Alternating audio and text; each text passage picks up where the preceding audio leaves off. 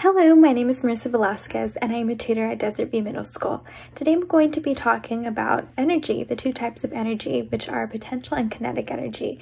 So without further ado, let's go ahead and let's get Today into it. we're going to talk about kinetic and potential energy.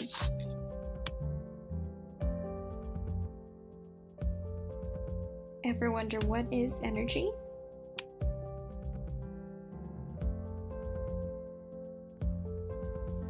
Energy is defined in science as the ability to do work.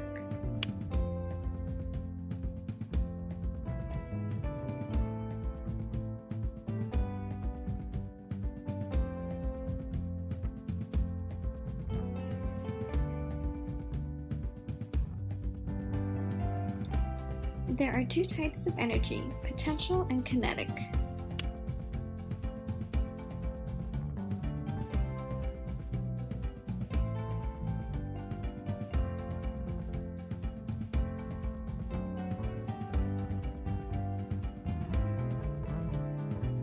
Let's talk about potential energy. Potential energy is stored energy from an object.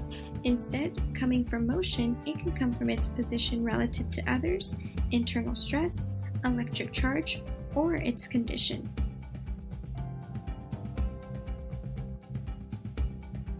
Here are some examples of potential energy. A raised weight, water that is behind a dam, a car that is parked on top of the hill, a snowpack, a potential avalanche, a yo-yo before it's released, river water at the top of a waterfall, a book on a table before it falls, a child at the top of the slide, and ripe fruit before it falls. All energy in the universe can be categorized as either potential energy or kinetic energy. Potential energy is the energy associated with position, like a ball held up in the air.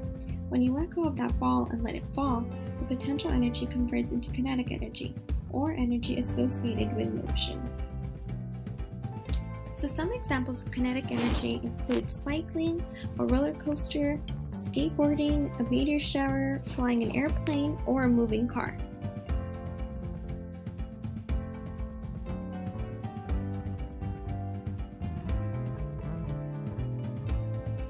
So to put together, we know that potential energy is energy that is stored within an object, while kinetic energy is energy that is in motion.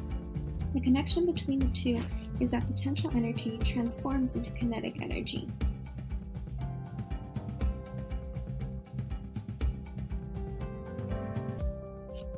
You can always head to tutor.com. The username is your ID number. Thank you for watching. I hope you got a basic overview of what potential and kinetic energy is.